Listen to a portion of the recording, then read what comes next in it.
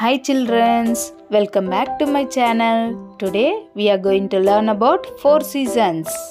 Please subscribe to my channel for more videos. Childrens, now we will start. There are 4 season name called spring, summer, winter, autumn. Seasons and their months. Now see the spring season. The spring season comes in the month of March, April, May. Childrens, in spring the weather is warm, so the seed start to grow a plant, tree and the flowers. Many insects come out in the spring. They eat fresh plant leaves. Caterpillar grows into a butterfly.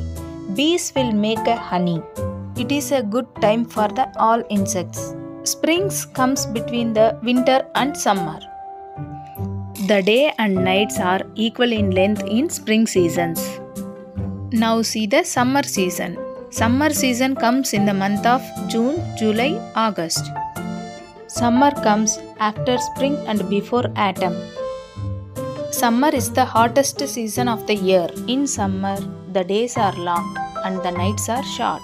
Schools will be holidays in the summer seasons. Children love to go to vacation in the summer season.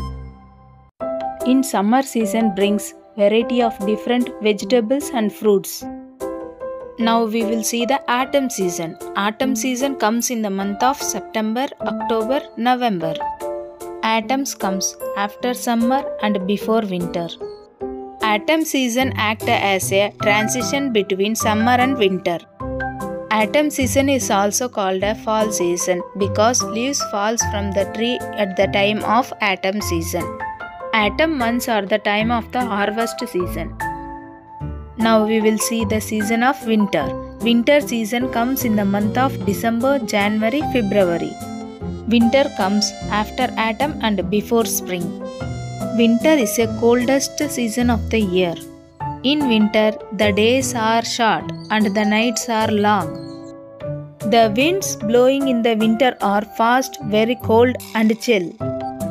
In winter, we must wear sweater, boots, gloves, and jackets. So, children, these are the four seasons.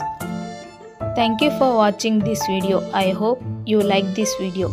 If you like this video, please click the like icon and press the subscribe button.